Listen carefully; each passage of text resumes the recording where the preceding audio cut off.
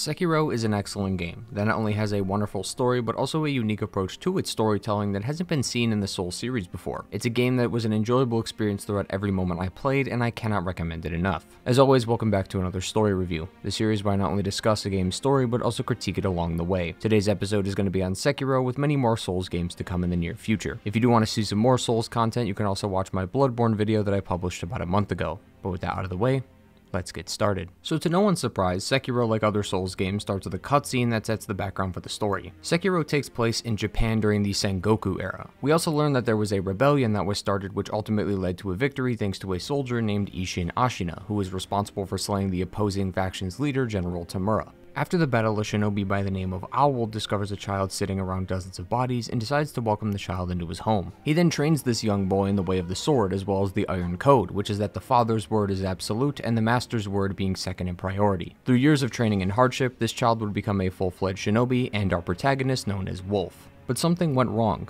Both Owl and his master are gone, so with no purpose in his life, he now just sits at the bottom of a well waiting for a purpose or death whatever comes first. However, one day he receives a note that leads him to the Moonlight Tower, and when Wolf arrives at said tower, he finds Lord Kuro, who is not only the divine heir, but also his master. Kuro needs some assistance. He wants to escape Ashina as the never-ending war that has plagued Japan is slowly making its way back to Ashina Castle, and Kuro wants to leave and run away from what he calls the fated bloodline. The two take a secret passage, but are caught by Genichiro Ashina, the adopted grandson of Isshin Ashina. Genichiro wants Kuro. It's unclear why, but he needs him for his plan and won't let us escape. So we fight, and being the skilled shinobi that we are, we have no problem getting absolutely destroyed by him. Genichiro cuts off Wolf's arm, who then collapses from blood loss, while Genichiro takes Kuro away. Somehow though, Wolf was able to survive thanks to an old man named the Sculptor, who was not only able to nurse him back to health, but also give him a prosthetic wooden arm to replace our recently cut off one. From the Sculptor, we learn one thing. Genichiro plans to use Kuro's bloodline for something and we need to get him back, thus setting the game's plot in motion. So already this is a fantastic start, and this intro highlights many unique design decisions within Sekiro. Firstly, it took 6 games, what we now finally have a named and voiced protagonist. Sekiro still retains that Souls formula of giving the player a title like Ashen One or Hunter, as in this game we're referred to as the Shinobi of the Divine Heir, but most characters will still call him Wolf. Furthermore, it's evident right from the beginning that this game has a very unique style to its storytelling. Sekiro is a very cutscene and dialogue driven game. Sekiro has a lot of cutscenes and conversations, especially in the very beginning, and many of the game's objectives can be completed without talking to NPCs, as opposed to other games where NPCs were just optional. The story is also quite linear, and this ties into the NPCs as well, as many characters will repeat quest objectives about 4 to 5 times in a couple minutes to make sure the player knows what they're doing, and will also have to report back to these NPCs once the objectives are completed. The Souls games also love to draw inspiration from specific media, and Bloodborne took this a step further by making H.P. Lovecraft and his Lovecraftian stories be the inspiration for the game's plot. And while Sekiro does do this as well, instead of fully embracing the fictional elements of H.P. Lovecraft like with Bloodborne, Sekiro goes in the opposite direction and instead focuses on non-fiction storytelling by using history, culture, and religion. All of these decisions are very bold, especially coming from a game series that likes to stick to what it knows best. This further added to the attraction of the game as this was something the Soul series has never done before. However, one of these decisions, being the history and culture surrounding the game, will become an issue. To explain why, we need to recap that intro again with the proper context. As I said, this game takes place in the Sengoku era of Japan, which was a real time period in Japan's history. It was an over 100 year conflict that started because the shogunate at the time was losing influence. This then caused many of the local lords to vie for power and attempt to dismantle all the other lords and even overtake the shogunate. The main purpose was to eventually unify all of Japan under one rule, and after the final battle, called the Siege of Osaka, Japan was eventually unified under the rule of Tokugawa Ieyasu. Relating this back to Sekiro, that's why the first line in the game, Japan was consumed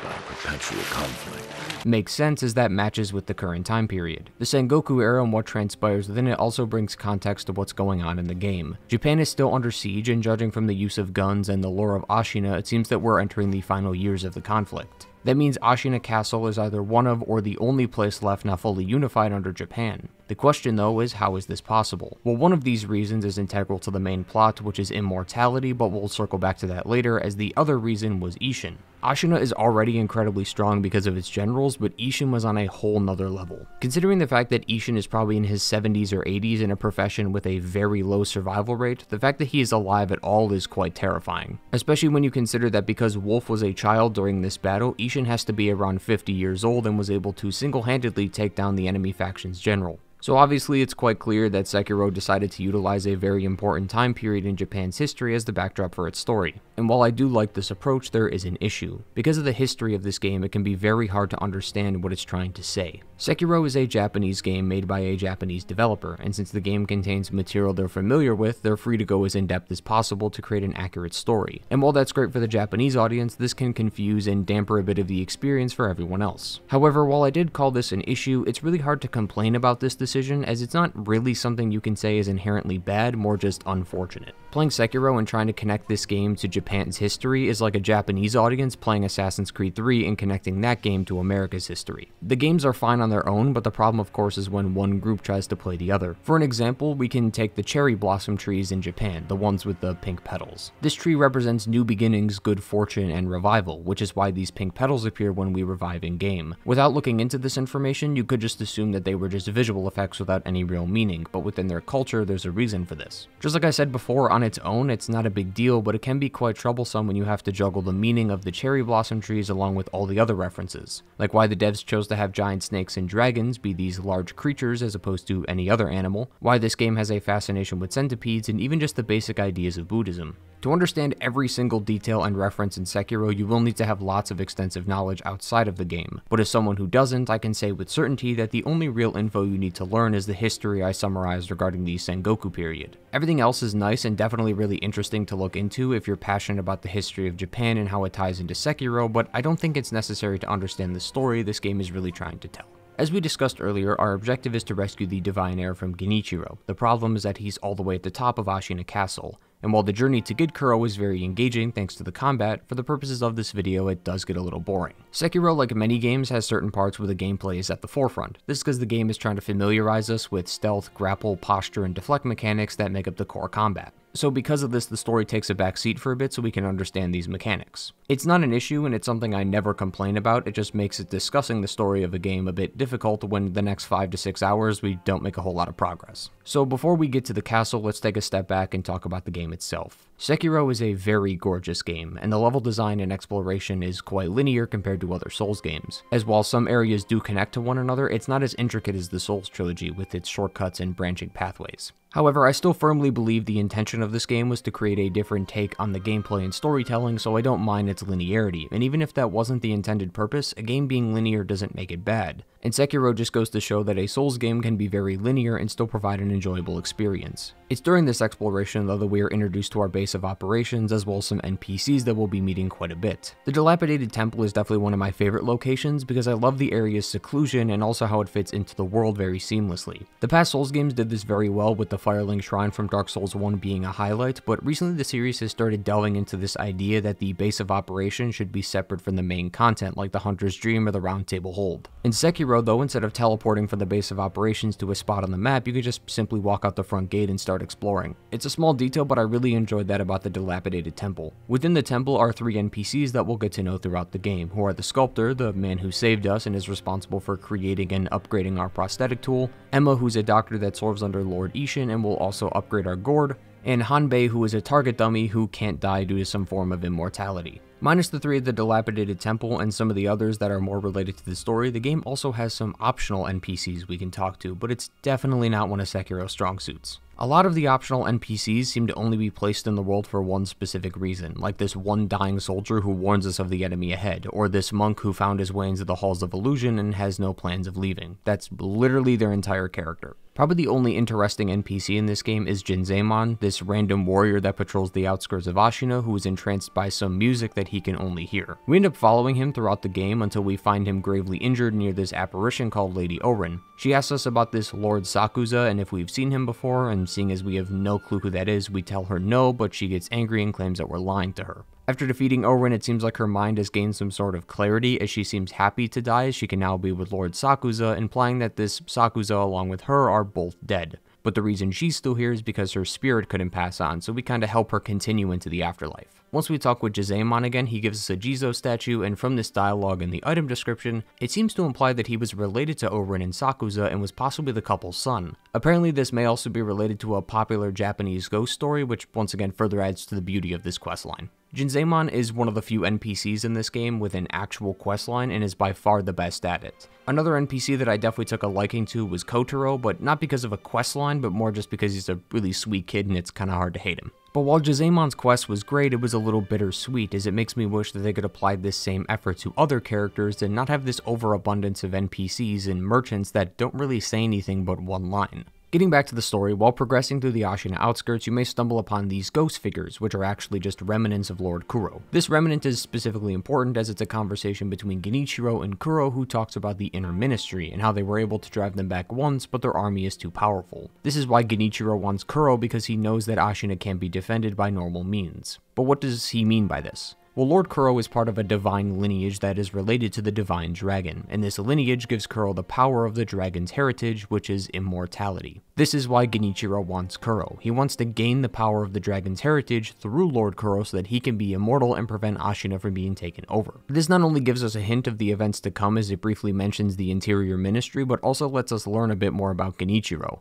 We'll end up seeing more of him later, but Genichiro might be my favorite character in this whole game, as his backstory and motivation fit so well together. According to some item descriptions related to Genichiro, we discover that he was taken in by Ashina when his mother died, so he's extremely grateful for the people that live here. So much so that he sees them as his extended family, so when the country of his people is under attack, he'll do anything he can to save them, even if it means using heretical arts. The description is both cryptic and informative, as it shows that he's willing to go as far as possible to defend Ashina, but we don't know what those heretical arts are. This is also probably a good time to mention the item descriptions, as just like previous games, some of Sekiro's lore is discovered via item descriptions. Main bosses will drop memories, which when consumed for attack power turn into remnants. The remnants are where the heart of the stories are, and while for some they don't provide too much information, for most of the bosses it's definitely enough to get an idea of who they were. Thanks to its accessible story and access to the remnants, you can get a large amount of the story just from these two sources, and it continues to reinforce that this difference in storytelling was a bold but fantastic choice. Right next to the remnant of Genichiro and Kuro is a large battlefield, which also happens to be the arena for the first boss, Gyobu Masataka Oniwa. I never mentioned this before, but Sekiro can be played in Japanese with English subtitles. This is similar to Ghost of Tsushima, which I believe also has the same feature. In the rare case that a game will offer me this option, I usually take the original language as I feel it's authentic, as I normally have subtitles on anyway, but if there was ever a reason to play this game in English, it's this intro.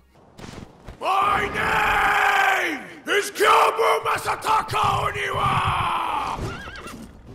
As I breathe, you will not pass the castle gate! It is so over the top and absurd that I couldn't help but laugh, and it kind of speaks to Gyobu's character. Gyobu was a leader of a group of bandits, but when they came face to face with Isshin, they were easily defeated. However, during their fight, Isshin noticed his determination and skill, so he would decide to take him in as an Ashina warrior. Gyobu really values strength over everything, and that's why he has this aggressive demeanor when he attacks us because he knows he's powerful and he can portray that to us. Interestingly enough, the spear that he uses also seems to be the same spear that General Tamura used during his battle with Isshin, which is quite poetic. And that also brings up a good point, and it's something I really appreciate about this game, and it's how wonderful and detailed the presentation is. A good example is the minor details that occur throughout the game, such as Tamura's spear, which is used by Gyobu and then will eventually be used by Isshin later in the game. Furthermore, when we challenge Genichiro again, we're able to see Wolf's growth as a shinobi as he pulls out the sword with ease, whereas in the intro we can see him fumbling with the hilt. There are also the similar circumstances between the sculptor and Wolf, who were both fighters that had their arms removed. The sculptor had his removed by Isshin, whereas Wolf had his removed by Genichiro. We have two unrelated people who became a team, cutting off the limbs of two unrelated people who became a team. Interesting. This even extends to the cutscenes before the fights, especially the one with Genichiro again, which takes place in this beautiful land of flowers, and the camera angle specifically positions him to the side so the full length of his sword along with the moon is shown in the scene. Speaking of Genichiro, we can now talk about his boss fight. After defeating Gyobu in the Blazing Bull, you're presented with this tower along with numerous other buildings attached to it. This is the heart of Ashina Castle, and Genichiro is at the top. Assuming you make it to the top, you'll be greeted by Emma, Kuro, and Genichiro. He's still trying to get Kuro's powers, but he won't budge. That's when we step in and attempt to save him. I like the stakes of this fight, as not only is it a rematch between Wolf and Genichiro, it's a rematch between him and us. We finally get to get payback for him cutting off our arm, but Genichiro came prepared. He's still a competent fighter and could definitely be the first wall players will run into, but just when you think you've finally beaten him, Genichiro proves that he's willing to do whatever it takes to save Ashina and fights using the way of Tomoe, which means he's going to throw lightning at us. Thankfully, we learned a lightning reversal just before this fight and can send it back to him, but I'd be lying if I told you I wasn't shocked when this happened. One thing I noticed as well was the black marks on his body. You could just play these off as wounds, but I think these are from the lightning powers of his, as maybe it's trying to convey that Genichiro harmed himself when attempting to control lightning for the first time. Regardless, it's a nice detail, but what's even better is the name, the Way of Tomoe.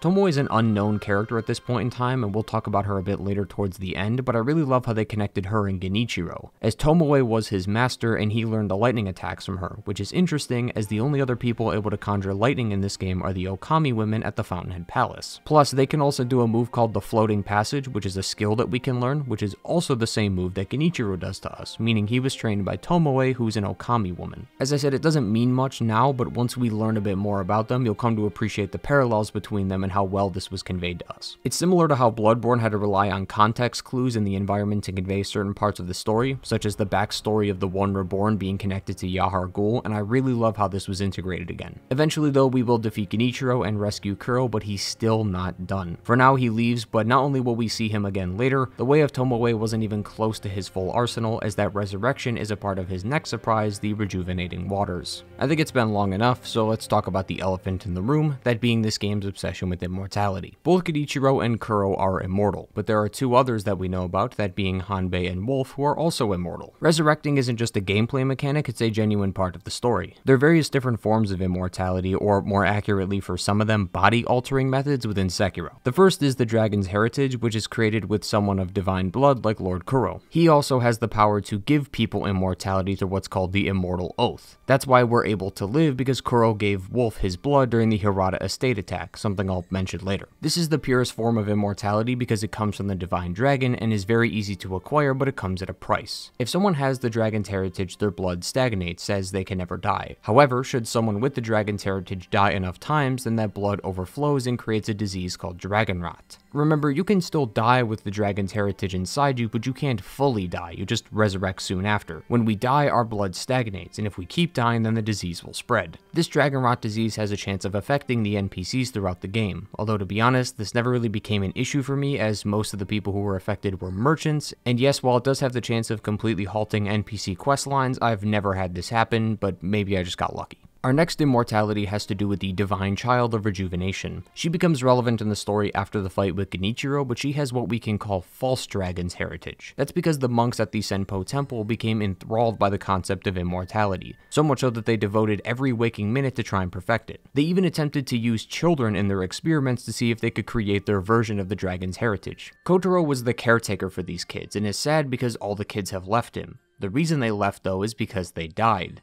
If these statues and pinwheels are meant to symbolize each child, then a lot of them have passed away from this. In fact, we can meet a parent of the kids here at the temple.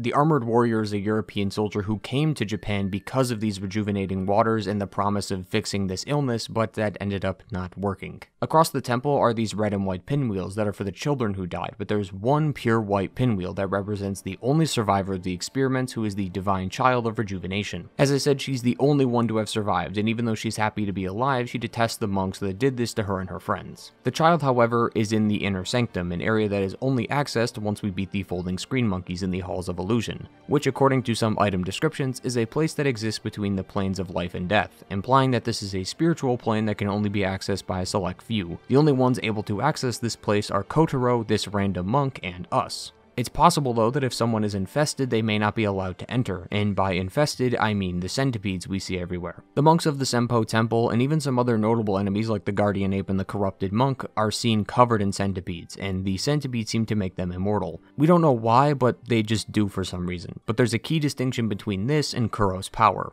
Whereas Kuro's power allows one to resurrect, the centipede prevents the host from dying at all. They can never resurrect because they're never going to die in the first place. There are two books we can find in the game called the Holy Chapter Infested and the Holy Chapter Dragon's Return that seem to infer that the High Priest of Senpou Temple was blessed by the centipede, and that because it had become one with him, he was able to walk the path of immortality, but he wanted to find out why. However, it seems like he was never able to find an answer. What we can assume though is that the centipede possibly came from the rejuvenating waters, which could explain their ability to make their host immortal as the guardian ape is located near the Lotus of the Palace, a flower that, according to its description, is near the palace waters, and the corrupted monk is guarding the palace itself, which is obviously surrounded by its water. Which then leads us to our final method of immortality, which is the rejuvenating waters. However, earlier I said body altering method, not necessarily immortality, because the rejuvenating waters don't seem to make people immortal. The rejuvenating waters came from the divine dragon when it entered the land of Japan ages ago. It then expelled this water across the land. The water originally started in a place called the Fountainhead Palace, but then would make it eventually to Mibu Village. Currently, the theory I have is that the distance of the water relative to the source is important, as I think the farther it travels, the fewer side effects occur. As within the Fountainhead Palace, we can find these carp-like nobles who patrol the area, whereas in Mibu Village, they're still semi-human. We do know that the water started at Fountainhead Palace and did make its way to Mibu Village, but it seems like the villagers didn't know of its origin and its side effects as from what we can gather, the town mayor treated the villagers to tons of sake one night, but when you drink sake, you obviously get really thirsty, and since they ran out, they had to resort to drinking water from the stream, but then the side effects kicked in, turning them into these semi-zombie type humans. However, all the inhabitants of both locations can die when we kill them, so it doesn't seem to make them immortal, maybe just prolong their life or grant them some resistances. The only character who doesn't fit into this equation is Genichiro, as he clearly resurrects. Wolf even says it himself, confirming that we did kill Genichiro at this point, but the waters brought him back to life. So how is this possible? Rejuvenating sediment. That's what we call a particularly concentrated part of the rejuvenating waters. I'm sure you saw it for yourself. The rejuvenating sediment grants great resilience in one's flesh. One becomes able to withstand blows that would be fatal to anyone else. So it seems that Genichiro consumed the rejuvenating sediment instead of the rejuvenating waters, which is why he reacted to it differently than those at Mibu Village. So, as a recap, we have the purest form of immortality, that being the dragon's heritage within Kuro, the unexpected immortality of the centipedes, the child of rejuvenation who was created as a way for the Senpou Temple to make a false dragon's heritage, and then the rejuvenating waters and sediment that seem to grant resistances and possibly a prolonged life when ingested. So the next question you might be asking is, why is this important? Well, once again, it all leads back to Lord Kuro. Kuro, being the divine heir with the dragon's heritage, wants to sever his ties to his immortality, as he's seen the effects it has on people and does not wish for this power to be used by anyone. Remember when the story used to be about rescuing a child? Well, now it's about immortality. This is very similar to Bloodborne storytelling, where it hides the true story until the halfway point of the game. I think Bloodborne did this much better, as that was intended to be a major plot twist, but I can't deny that Sekiro has succeeded quite well in doing the same. As I said earlier, Sekiro's story is very simple. Save Lord Kuro, then sever his ties of immortality. But when you jump down the rabbit hole of Sekiro, you realize just how deep it truly goes, and that without a doubt definitely deserves some recognition. So we have our new goal, but where do we start? Well, through some dialogue with both Kuro and Emma, we discover what items we specifically need. These items also tie into the game's endings, which I really liked as for once I knew what the items were, why they were important, and what ending they are required for, which made me even more invested in the story. While some of these items are only for specific endings, each one of them requires two necessary items, that being the Mortal Blade and the Divine Dragon Tears. The Mortal Blade can be given to us by the Child of Rejuvenation, who claims that everyone who's picked up this weapon has died, which is not an issue because we can't die. The Mortal Blade is important as the actual blade itself can kill those who cannot die, meaning we can sever Kuro's immortality. However, if you're puzzled by that description, then you and Emma have caught on to Kuro's plan. Wolf is extremely loyal to Kuro, and without him he would have no purpose, so if he were to tell Wolf to sever his ties by killing him, he probably wouldn't go through with it. So Emma and Wolf devise a plan and try to prevent this from happening, However, this isn't good news either. Emma talks with the sculptor and also finds some notes written by Tomoe, the girl we talked about earlier, and discovers that to sever the ties of immortality while keeping the master alive, the one who has the blood must die. So now we're at a crossroads. We either sever the ties of immortality by killing Kuro, obviously not a good choice, or we kill ourselves and allow Kuro to live. Also, not a good choice. But there is a third option. Through some discussion with the Divine Child of Rejuvenation, we discovered that it's possible to sever the ties of immortality by sending the Divine Dragon back to where it came from, allowing both Kuro and Wolf to live while also forcing the dragon to return home. This also ties into the second item we need, which is the Divine Dragon Tears, which are just simply tears from the Divine Dragon, which is necessary for the ritual, meaning we somehow have to get to this Divine Realm. So those are our three options. Each one requires specific items for the ritual to work properly, so it's on the player to find these items, then do the ending they want. I know it sounds like we skipped really far ahead in the story, but now that we've hit the halfway point, the game really focuses on the Severance ritual that we must perform, but it's not the entire focus. I said earlier that the remnant of Genichiro and Kuro was a foreshadowing of the events to come, and it's during these next few hours when Wolf scavenges the land for the required items that this will occur. After returning to Ashina with the Shelter Stone and one of the items we need for the ritual, we'll notice that something's wrong. All the fast travel points are gone, and by making our way back to Ashina, we discover that the Central Forces have started their assault. The Central Forces are the samurai dressed in red, with the purple soldiers being the most elite group called the Interior Ministry. Remember, Sekiro takes place at the end of the Sengoku era, so it can be assumed that the Central Forces are trying to take over Ashina so that they may unify Japan under their banner, and if that wasn't bad enough, an old relative makes his appearance. What are you plotting, Owl? Plotting. I would do no such thing. Owl has returned, and he's here for one reason Kuro. See, Owl's been plotting something for years and has been using Wolf this entire time. Owl, just like Genichiro, wants the blood of Kuro. Owl wants to be immortal. In order for him to do this, he'll need a foolproof plan. Firstly, he needs someone who can get close to him. That someone would be Wolf. How was he certain that Wolf was going to follow him? Well, he saved him from when he was young and became his father figure over the years. He also instilled the Iron Code within Wolf, something that he wanted him to live by just in case he needed to use it. As I said before, the Iron Code states that the father's word is absolute, with the master's being second. So with that in mind, it makes sense why Owl wants Wolf to follow the rules of the code so that Owl can enact his plan. The question that remains is where has Owl been? Well, very early in the game, you'll be given a bell charm by an old lady. By taking this to the Buddha statue at the temple, you can relive a memory from the Hirata estate. There's also another bell charm that you can find that belongs to Owl, which will also take us to the Hirata estate. The Hirata estate memory was three years in the past, and it allows us to see the events of a very important time in Sekiro's story, except an issue will arise from both the bells, as it's that both of them showcase the events of the Hirata estate, but either have wrong information or it's in the wrong order. For example, the end boss of the first memory is Lady Butterfly, who we kill, but in the second memory, it's Owl, who we also kill. The second one is clearly wrong, as if we killed Owl in the past, he wouldn't be here in the present. So to do this properly, we're gonna have to jump between both memories to get the real truth. So three years ago, Wolf was sent out on some mission. It's unclear by who, but we can assume it was Owl. When Wolf returns, he finds the estate in flames. Apparently some bandits took it upon themselves to burn the estate down, kill the villagers, and rob the place clean. The reason this attack worked so well is because many of the estate's guards were out fighting the wars happening near Ashina. The timing of this attack seems too perfect, and some of the villagers think so as well. You were nowhere to be seen when things went south. Wait, tell me you didn't lead them here yourself. The timing of their attack was perfect. Normally those bandits wouldn't have stood a chance. Yes. Yes, it had to be you. I hope you die, traitor. I wouldn't go that far, but he's definitely correct though that the timing was way too perfect. Wolf's main goal as the shinobi of the Divine Heir is to find Kuro and make sure he's safe. On the way there though, he will encounter Owl who seems to be gravely wounded and will pass away due to his injuries. We continue on and find Lord Kuro, except Lady Butterfly stops us from leaving. This encounter is interesting as Lady Butterfly was Wolf's mentor, so why is she attacking us? My growing theory is that she's either working with Owl or at the very least betraying Ashina. Before her boss fight, we see this old lady trembling in fear, who happens to be the same old lady who gives us the bell. Further down the hallway is her son Inosuke, who we can also find in the present, and apparently was injured and rendered blind by Lady Butterfly. I can't imagine Inosuke was betraying the Ashina, meaning him and Lady Butterfly should have been allies, so this leads me to believe that she was betraying the Ashina along with Owl. Now whether or not they were working together or just had a common goal is never stated, but I also believe there's an answer to this. After defeating Lady Butterfly, Wolf gets stabbed in the back. There is no doubt in my mind that this was Owl, which means that not only was he faking his injuries, it's possible he was injured by Lady Butterfly, and upon discovering that we are here at the estate,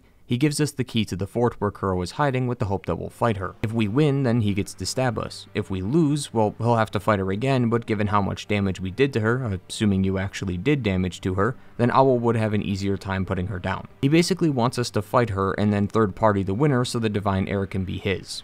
From this information, we can also assume that he sent us away on a mission so that the Divine Heir was unguarded, as remember the timing was almost too perfect. After getting stabbed, Kuro sees Wolf dying and recognizes the bravery he possesses and gives him his blood. This moment is why Wolf can resurrect. But that was just one memory. The other memory will tell the real story. We learn from Owl's bell charm that the Interior Ministry was a part of the attack as well. The first memory will also provide you with a hint to the real story as we can fight an Interior Ministry soldier in that memory, except there's only one. Furthermore, we learn from an eavesdrop conversation between Juzo and a soldier from the Ministry that Owl was behind the attack. That's why everything works so well. Owl being a shinobi of the Ashina would know the troop movements and knew when to strike. As for why Owl joined forces with the Ministry, it's because I believe they had aligned goals. Owl wanted the Divine Heir and the Interior Ministry wanted to defeat the Ashina clan, and a huge blow to their forces would be the Hirata estate. Neither cared about the other's goals, but the two realized that by attacking the estate together, they could both get what they wanted, so they became allies. So now we have to ask how do the bells work? So this involves some magical elements, as it seems that Wolf is physically in these memories, as not only does he keep his prosthetic, after talking with one of the Ashina shinobi, he comments on the attack. The Dragon Spring Pilgrimage.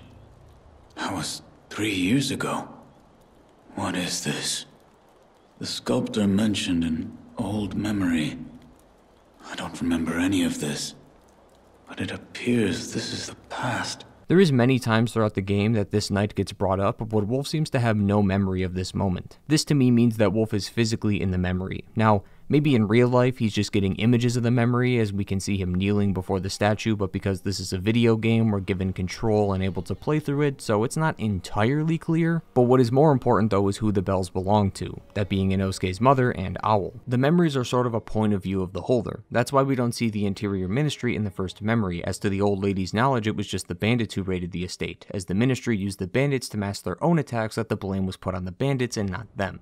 Owl's Bell will obviously have more of the real story since he was present during the attack, but we still have some more questions to answer. Why did we fight Owl at the end of the second memory, and what happens after this event? Well, as for the first question, we seem to get the information from the sculptor. According to what he said, it seems that the Buddha statue was able to awaken old memories along with the emotions and memories the person ringing the bell had. To me, the reason we fight Owl is so that Wolf can come to terms with his father's betrayal, not just at the estate, but later when we get back to the present, as this trauma is only found afterwards. Buddha is allowing him to let out his emotions through the only way the two know how. It's not a definitive answer, but that's what I've interpreted from this. As for our final question, well, we know the answer already. The aftermath of the memory is the intro. It seems that while the plan worked, Owl was unsuccessful in taking Kuro, maybe due to the temple caving in, or maybe because Kuro managed to escape. Either way, Owl was unable to find him. But seeing as Wolf is now the only one alive thanks to being resurrected from the dragon's heritage and is now next to the corpse of Lady Butterfly, he was framed for the attack and thrown in jail. This, of course, relates to the first conversation we hear in the intro. That shinobi at the bottom of the well. We didn't shackle him, restrain him, nothing. That doesn't worry anybody? Not at all. Not only is he unarmed, he has completely lost his will to live. Nothing but a coward.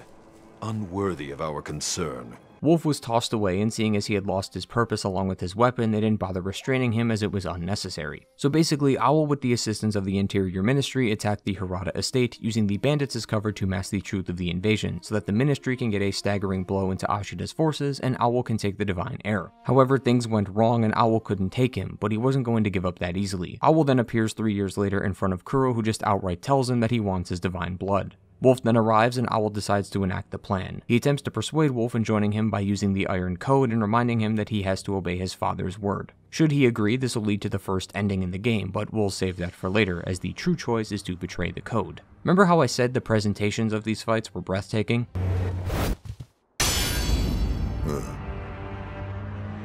I can't tell you how hyped this made me. I was already hooked by the game to begin with, but this one scene had me completely invested in the fight. Owl isn't my favorite boss, as that one is specifically held for someone towards the end, but he's definitely a close second. The Souls games have always tried to add variety in their boss encounters. Sometimes they have these large, slow moves as opposed to fast, consistent swings, but other times they have unique gimmicks. The issue with Sekiro is that it's hard to pull this off when the combat is based around one weapon and one style of play. But it seems that From Software wanted to try this with Owl, and I think they succeeded. Throughout the game, we've been using our prosthetic to assist us in fights. It's incredibly powerful, and it's sometimes too powerful. With the introduction of Owl, we are now on the receiving end of that treatment, as he throws these balls that prevent us from healing, chucks dozens of shurikens at us, and even begs for mercy at one point just to throw a smoke bomb at our feet. He's a prick and doesn't play fair at all, but given that we've been doing the same the whole game, it's a humbling experience to be on the receiving end of it. Plus, we're now on an even playing field as we have two skilled shinobi with an arsenal of tricks up their sleeve, which creates one of the best fights in this game. And the second encounter with Owl makes this all the better as the Hirata estate is a great level. I like the idea of putting together the story through the context clues and conversation as it retains that Souls formula of a cryptic story that the player is forced to figure out. My only gripe with this level is that this integral piece of story is completely optional. The old lady is an optional NPC so you may never find her bell charm. Thankfully Owls is an item the player can't miss so they'll at least get one part of the Hirata estate but the story of this level is confusing without both bells.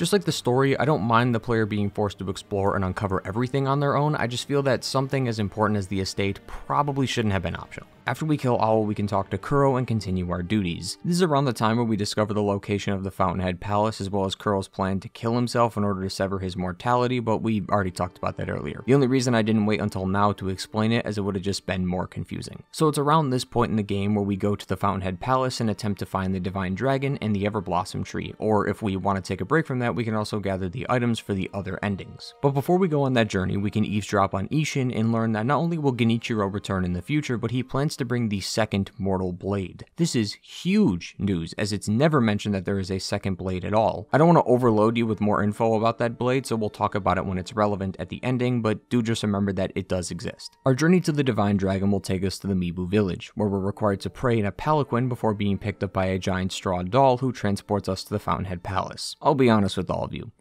I don't got a single explanation for this. I don't know if this is something in Japanese culture, but I couldn't find a single thing. It's weird, and it's probably better if we just move on and act like that didn't just happen. Upon arriving, we encounter the defender of the palace, who is named the Corrupted Monk. Her backstory is that she was among the infested, which is why she has a centipede within her, but she doesn't seem to mind that as she is the palace's guardian after all, so immortality would be quite fitting for someone like her. Here in the Fountainhead Palace is those carp-like nobles that drink the water, but there's also the Okami women. Sometime long ago, the Okami women discovered this palace, and even though the nobles got here first and don't appreciate visitors, they were fine with these warriors living with them as long as they became the palace's guardians. They agreed, and now the two live together surrounded by the rejuvenating waters. As we talked about earlier, Tomoe the one who trained Genichiro, was originally an Okami woman, as she was able to conjure lightning similar to how they can. However, this is where things get a little confusing. The Tomoe served a Lord Takeru. Think of Wolf and Kuro's dynamic as the same thing as theirs. Takeru is Kuro and Tomoe is Wolf. Just like our current duo, Takeru and Tomoe were trying to sever the ties of immortality, and majority of her notes detail their progress on the matter. These notes are actually how Wolf and Kuro realized that they needed the mortal blade in order for the severance to work properly, but if we find more of her notes, we can discover more of the story.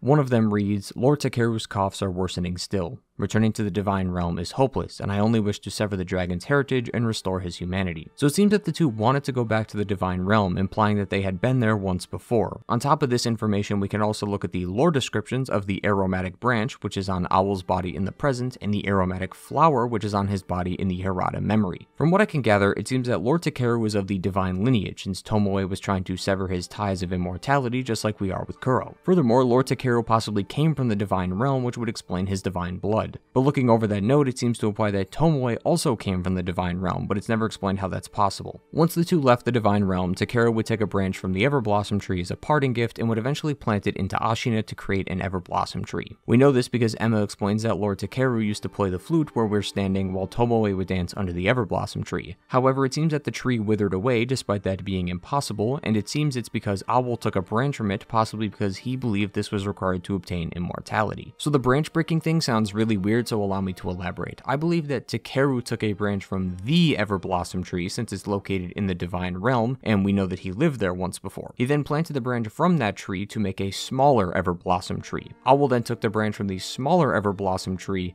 and then it of course withered away. So if the branch is able to destroy a smaller tree, what happened to the big one? Well, we can look at the Divine Dragon, as the full name of the boss is the Divine Dragon of the Everblossom tree. When Takeru snapped a branch off the Everblossom tree, that affected the Divine Dragon, which is why its arm is missing when we fight it. However, even after all their planning, it seems that the duo failed and both died. The reason for their failure is because they didn't have the Mortal Blade, but we do, so we can now succeed where they failed, but we still need those Dragon Tears. Just a reminder in case you forgot, we're fighting this dragon because we need to obtain the Divine Dragon Tears as it's necessary for the Severance ritual. Even though there's not much in the arena itself, I really do like this set piece and it's very gorgeous. It's truly divine as the game intended it for it to be. This fight also segues into another positive about the game, and it's these final death blows. Death blows occur when the player has a full posture bar. For bosses, there are multiple death blows that the player must do to defeat them, but when it's the last bar, it becomes a final death blow. Which is this added part at the end that ties the whole fight together. I love these death blows a lot. Sekiro's combat has always felt stylish to me, like it's a dance. The rest of the series has always been about dodging or blocking the enemy, and then when you succeed, do an attack of your own. In the beginning, you might be able to get away with this, but as you get deeper, many of the fights will have you moments away from broken posture for a total of 5 whole minutes, as if you give the boss any time to breathe, all that momentum is gone. Sekiro easily has the most intense combat in the Soul series, so it makes sense that you can end your stylish fight with a stylish finisher. You're able to breathe this sigh of relief knowing that you finally beat the boss, and while doing so, are able to watch this incredible cinematic that caps off the fight. After defeating the Divine Dragon, we cut open a slit under its eyes to extract its tears, and are now able to start the ritual, except we can't. According to Emma, the Central Forces have made it further into the castle and are right outside the gate. In order to avoid death, Kuro escaped and went to the secret passage, the same one we took in the intro. Emma also tells us that Lord Isshin has succumbed to his illness and has passed away.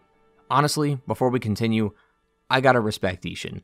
We never talked about this, but after the fight with Gyobu, we'll meet with someone named Tengu. This person is Isshin, and judging by the corpse on the floor, he probably killed quite a few ministry members even at his age. He was so strong that the only thing that could kill him was old age. He's got my respect for that. But now we have entered the finale, and while we should go to Kuro, we're going to take a detour and return to the dilapidated temple as the sculptor is gone. Halfway through the game, the temple gets covered in these pieces of paper called ofudas, and these papers can symbolize anything from a medium to allow people to communicate with deities through prayer or other things like finding safety or finding love. These papers, just like the remnant from earlier in the video, is a hint of what's to come. As we run through the battlefield, we'll come across a few burning structures, which isn't out of the ordinary, until we start seeing more and even even some claw marks around them. By interacting with the idol, we teleport and find the sculptor who has become the demon of hatred. The sculptor was a shinobi like Wolf who served under Isshin, and because being a shinobi means you're surrounded by killing, Isshin noticed that Shura was going to take over his body. Shura is basically when someone kills for the sake of killing. They don't have a reason for doing so other than the pleasure of taking another life. Fearing that the sculptor would succumb to this fate, Isshin cut off his arm, forcing him to retire from being a shinobi and temporarily halting Shura. The sculptor would also take up wood carving, as we can tell from the Buddha statues, as a way for him to keep his mind busy, but it wasn't enough as the flames of hatred were still burning inside him. And it was thanks to this war between the Central Forces and Ashina that caused him to succumb to the power. But because he was able to withhold it for so long, it was an incomplete version of Shura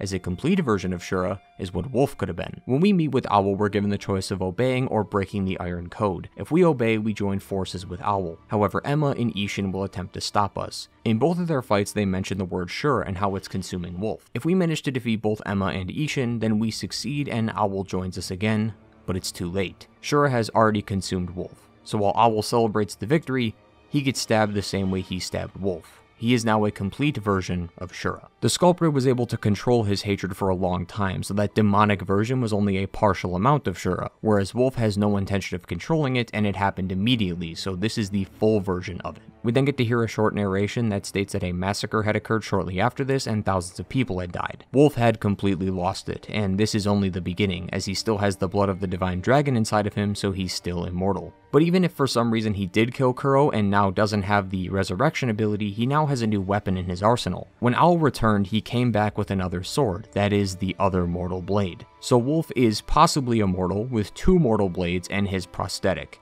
He is never going to die. But how did Owl find the second mortal blade? Well, if we fast forward back to where we left off, when we try to escape with Kuro, we find Genichiro again, who has the black blade in his possession, meaning Owl took this from Genichiro. Huge credit, by the way, goes to Zullie the Witch for this, as I don't have access to a free cam mode on the Xbox, but if you use the free cam mode during the Shura ending, you'll notice that the object in Owl's hand when he approaches Wolf is Genichiro's head. He literally killed him, took the blade and his head and then placed it next to his dead grandfather, which is extremely gruesome and definitely in line with the mood of the Shura ending. However, if we don't do that ending and instead disobey the code, then that leads to all the events we've covered so far, which brings us back to the Flower Garden against Genichiro. At this point, we've faced Genichiro so many times that he isn't that hard anymore, but there's no way Genichiro's going down without a fight. If we manage to kill him, he'll use the power of the Black Blade and summon Isshin the Sword Saint. There isn't much info on the Black Blade, but the item description of the Black Scroll states, the blade's name is Open Gate, and is said to hold the power to open a gate to the underworld. It is through this power that it creates life. This blade and the Mortal Blade are opposites to one another. One blade can make the undying die, and the other can revive those who are dead. As for the why, I think it's related to the Sword Saint's Remnant, which reads, One who returns from the great beyond does so at the peak of their prosperity. Isshin coveted strength and all manner of techniques through his mortal struggle. He wished for war until his final hour, and that is precisely what he got. This isn't the same Isshin that died at the castle. I think of it as a mindless version of him who just wants to fight. Going back to its name Open Gate, that's why Genichiro slices his neck open as it's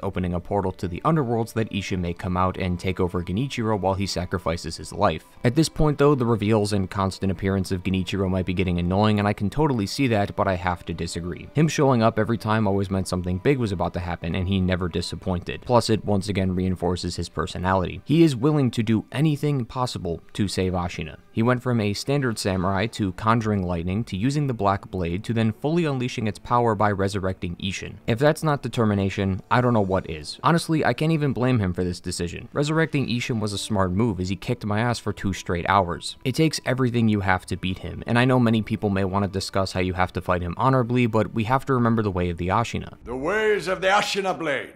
It's our school of fighting. But there are no hard and fast rules. You just win your battles. That alone is the most important rule of the Ashina style. Who cares how we beat him? As long as you win, that's all that counts. Genichiro took this to heart, as we can see all the different ways he's attempted to beat us, and even Isshin does this as well, as he goes from a sword to a spear to using lightning to even using a gun at one point. Fighting Isshin literally took everything I had learned up until this point to beat him, so it's fitting that after two hours of failure wasting all my healing on the first phase, I managed to beat him only using two gourds. There was only one move in the last phase that caused me to heal, and it was this lightning attack that I had mistimed. Besides that, just about everything else in this fight was flawless, and I couldn't have asked for a better conclusion. After Isshin is finished, we can now decide our ending, and on screen is the items that correlate with each of them. Ending 2 only requires the Dragon Tears. This sees us perform the Immortal Severance meaning we take the Mortal Blade, kill Kuro, and fulfill his wish. With no master and no purpose, Wolf becomes the new sculptor. He's in a similar situation as the sculptor once was. He has no purpose anymore and has this burning sensation of killing taking over his body, so he attempts to quell the pain by carving statues. We can see that Emma joins us and becomes our permanent doctor and also gives us our arm back as she says that we may need to give this to someone in the future. We learn when we get the prosthetic arm that this originally belonged to the sculptor who passed it down to Wolf who is now going to pass it down to someone else. The Souls games have always had this theme of cycles like the Age of Fire or even the Hunter's Dream if we choose a specific ending, and this seems to be the same. In the future some other person will stumble here with a cut off arm and Wolf will pass it down to that person and who knows, maybe Wolf will become the demon of hatred like the sculptor and will need to be put down by that new warrior. One thing that is confirmed is that he no longer has the power of the divine blood thanks to Kuro's death, and we know this because the white streak in his hair has gone back to its original color. For ending 3, we need the dragon tears and the aromatic flower which we got from fighting Owl in the Hirata memory. This is the other ending And Wolf were looking into that involved Wolf sacrificing himself to make Kuro human again, just like how Tomoe wanted to make Takeru human again but failed.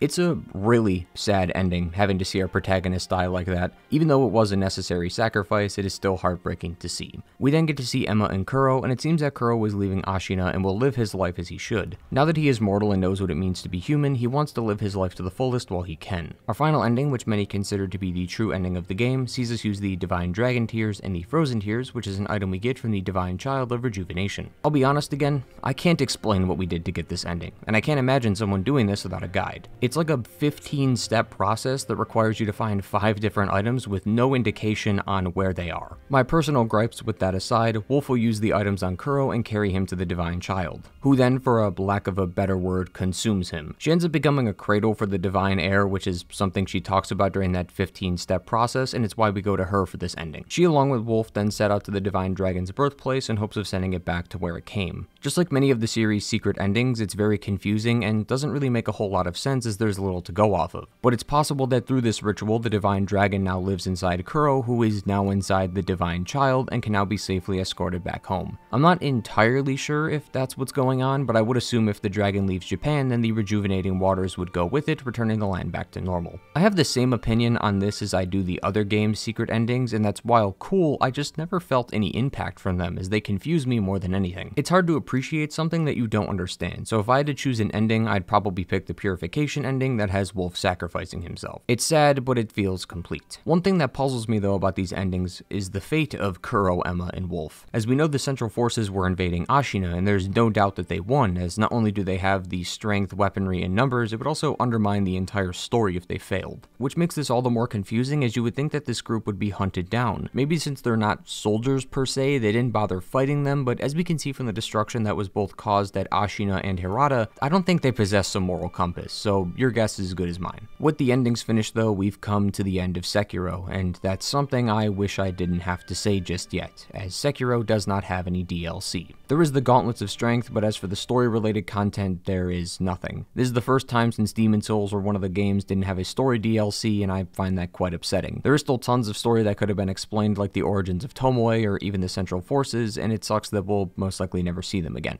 Despite that though, Sekiro was such a different experience compared to the past Souls games in both gameplay and story, and while things did get a little bit complicated along the way, as a whole, the story was fantastic. It's got a barrier of entry that is low enough to where you actually understand what you're supposed to do and why, but it's also deep enough for those that want to know everything about the game. It's able to satisfy both crowds of players, and coming from a series where you're more than likely going to finish a playthrough without understanding a single thing that happened, that's very impressive and definitely deserves some recognition. Simply put, if you're a fan of the Souls games, go pick up Sekiro. You won't be disappointed. If you made it this far, then you made it to the outro, and I hope you enjoyed the video. If you did, then be sure to like and subscribe if you're new. Sekiro was a blast to play, but we're still not done yet. We have a lot more Souls content to get through, and I hope that you'll continue to join me on this journey through the series. While you wait for the next video, be sure to check out my story review on Bloodborne, as well as any other videos that may interest you if you haven't seen them. As always, thank you to my returning viewers for coming back, and with that, take care everyone. Goodbye.